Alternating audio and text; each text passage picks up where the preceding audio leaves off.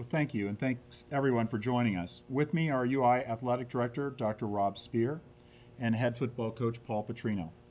I announced today that the University of Idaho Vandal football team will accept an invitation to join the Big Sky Conference, pending State Board of Education approval, starting in fall 2018. While I understand the magnitude of this decision and the strong opinions that surround it, I am confident that the Big Sky Conference is the best possible choice for our football program and for our student athletes. Moving football to the Big Sky is also the right choice for our students, for academic excellence, and for the long-term success and stature of the University of Idaho. We are, first and foremost, the state's leading residential and research university. The University of Idaho's prestige and relevance will be complemented by our football program, not defined by it. We will be defined by the institution-wide success of our individual and societal impacts, measured by our entire student body experience, our academic and research impact, and our statewide engagement. While the passion and dedication of our student athletes has been consistently strong, UI has always been one of the lowest resourced FBS football teams and therefore has struggled to achieve a winning record during our time in the FBS. To become successful enough to affiliate with any FBS conference would entail unjustifiable, unsustainable expenditures. Competing as an independent with an extremely uncertain conference affiliation would be irresponsible, particularly when we have the alternative of joining one of the most prominent and stable FCS conferences. The Big Sky allows us to renew traditional rivalries and offers our athletes the opportunity to excel at the appropriate level of competition, just as they do in our other Big Sky sports programs. Conference stability is important to the future of Vandal athletics. We can't provide stability by hoping another to join them or that an FBS conference might be realigned in the future to better fit U of I. UI has a long history of success on and off the field as part of the Big Sky Conference. Playing geographically close and similar schools allows for exciting, successful football, much like we have seen in our other athletic programs. Finally, we have spent a significant amount of time considering our football conference options. In fact, the right football conference affiliation for UI was something I was asked about during my interview process over two years ago. Since the Sun Belt announced in March that it would move forward with a 10-team league, we have engaged in dialogue with stakeholders statewide, listened to opinions on all sides of the question, and analyzed the input. Joining the stability of the Big Sky Conference will provide our student athletes with the best experience and the best path to success. Providing the best possible experience for all U of I students across all aspects of university life is our responsibility and our privilege. Moving to the Big Sky is the right decision for the University of Idaho and for our football program. I am encouraged by the enthusiasm and dedication in our football program, and I am confident that we are ready to move forward. And we would be happy to stand for questions. Thank you. We'd ask you to come forward to the mic question, identify yourself.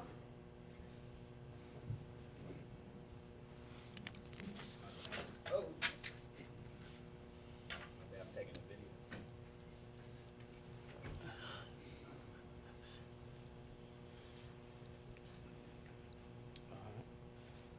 Uh, President Staben, uh, I'm Michael Sean with the Moscow Daily News. Just wanted to ask uh, when when this decision was officially made, and have you reached out to the uh, Big Sky Conference already and talked to Commissioner Doug Fullerton? Uh, Yes, thank you, Michael. Uh, We made this decision shortly after, well, during last weekend, and, uh, and began the announcement process. And yes, we have discussed this with Commissioner Fulton, Fullerton is, uh, already, and the Big Sky presidents. Um, We think it's a good decision, and, uh, and we're ready to move forward, and they are ready to move forward with us. Um, did did the May 4th deadline uh, add any pressure, uh, make you speed up your decision, and, and did you ask for an extension from the conference, the Big Sky Conference, obviously? Michael Sean, no, we did not ask for an extension of that May 4th deadline.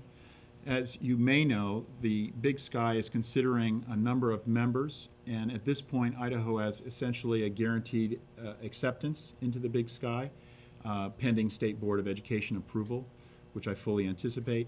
And so, um, so that deadline um, was one that, that we wanted to meet. Thanks. Do other questions from from the room? Yes?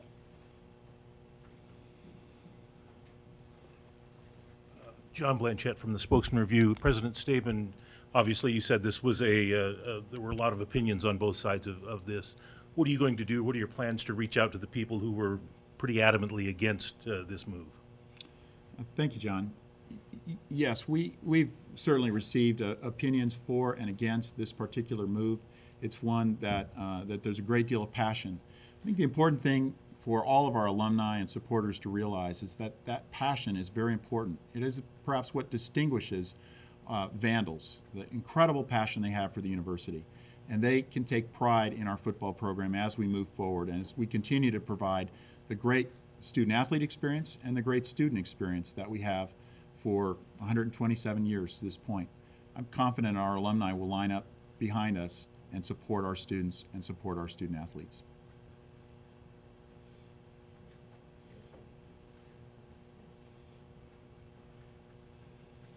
Uh, this question's for uh, Dr. Spear. Uh, as far as Title IX compliance goes, uh, what does this mean in terms of uh, eliminating sports? And have you have you reached out to those coaches whose whose uh, coaches or whose programs may be eliminated? Ralph, go ahead and take that one if you would. Well, thank you for the question, Michael Sean. As I communicated with the president, we have no plans at this time to eliminate any sports at the University of Idaho. Does that does that mean uh, as of as of now you'll be in compliance with uh, with uh, all Title IX uh, obligations, even if you uh, drop down to Big Sky? Yes, we will. Thank you.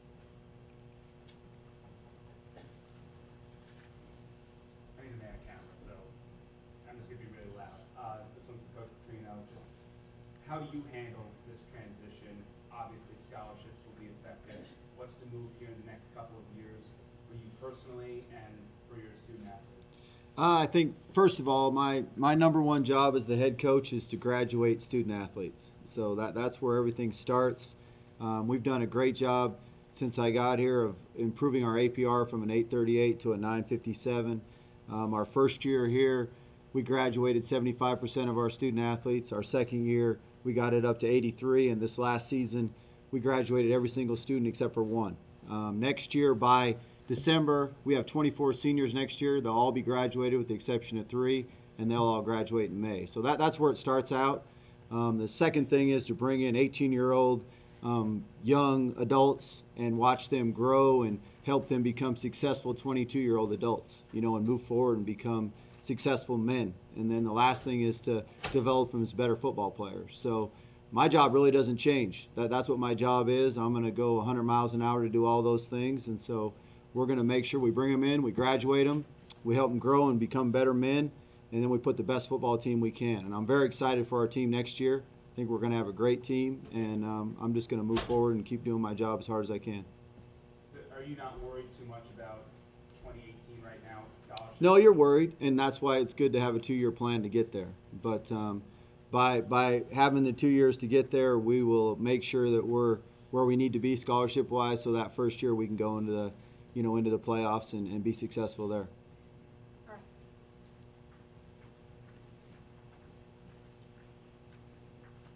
Dan Hawk, KIVI in Boise. Uh, this question's for Mr. Spear. Uh, as far as scheduling goes, how does this affect with the Power Five conferences that you already have on schedule in the future?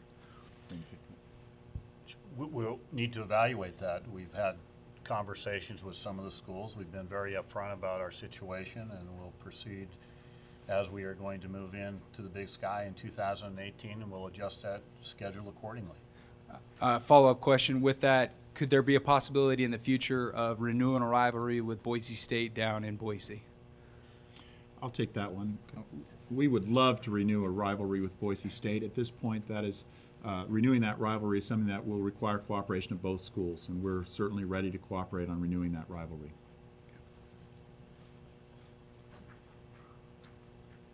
All right, we'll transition over and take some questions from the phone.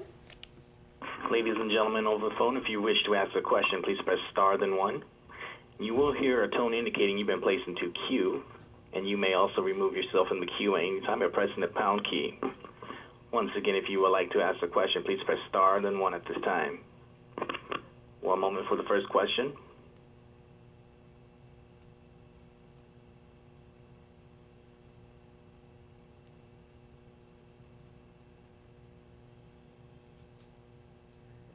Our first question is from the line of Dave Southorn with the Idaho Statesman. Please go ahead. Uh, this question is, is for Rob. Um, I wanted to ask, uh, what what is the plan in terms of getting the scholarships to the number that, that is required in the FCS, and, and what is the plan for that as of right now? Dave, we have worked with the NCAA, we've worked with the NLI people. We are very confident as we move forward. The NCAA views this, it's black and white. To be eligible for the playoffs, we have to be at 63 scholarships. We have a transition plan. We'll be able to accommodate the needs of our current football student athletes and also ensure that we're going to replenish the program for the future from a recruiting standpoint. I- would simply like to add, if I may, that the NCAA has assured us that normal transfer rules apply to our current student athletes. And, and so we anticipate that those student athletes will stay here and they'll want to stay here to participate in the great football program that Coach Petrino runs and the great academics that they're engaged in.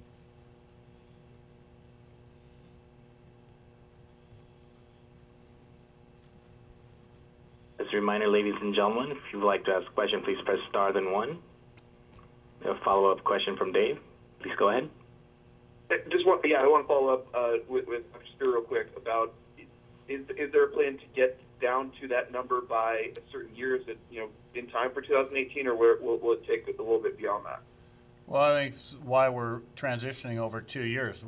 Dave, we will be at 63 scholarships in 2018.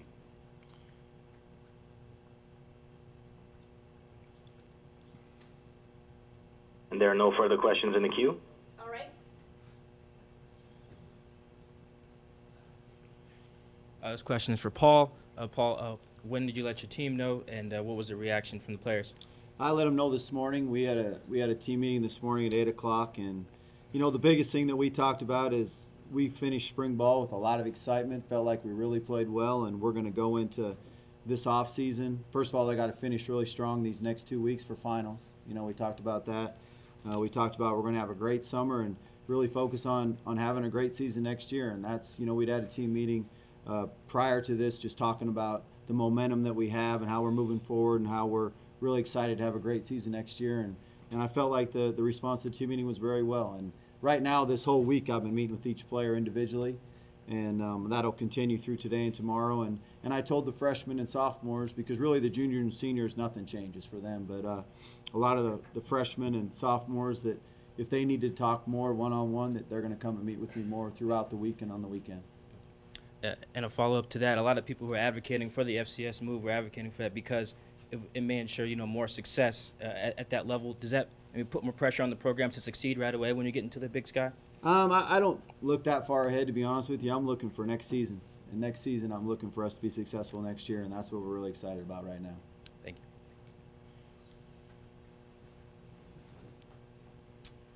Sean Kramer with the Spokesman Review. Um, this one's for Dr. Spear. Um, I want to kind of go back to the boosters, uh, especially those ones who advocated for FBS. Um, you know, Staben, uh, you know, has an optimistic view of it in the future, but in, in the short term, is it going to be difficult to keep those guys on board? The, the rules of the game changed, Sean, when we got into FBS. You have autonomy, you have full cost of attendance, you have all these different things that are happening. You had rules change to allow conferences to participate in conference championship games with just 10 members.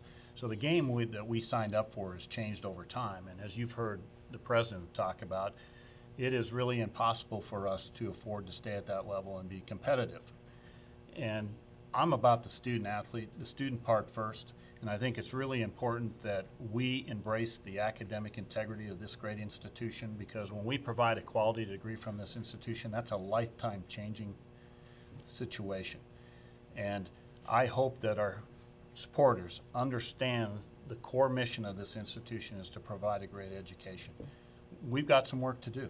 We've got to engage them and get them back, but I'm confident that, you know, we are going to continue to look at options. We are going to continue to be the best that we can, can be, and, and really what we can do right now is control what we can control.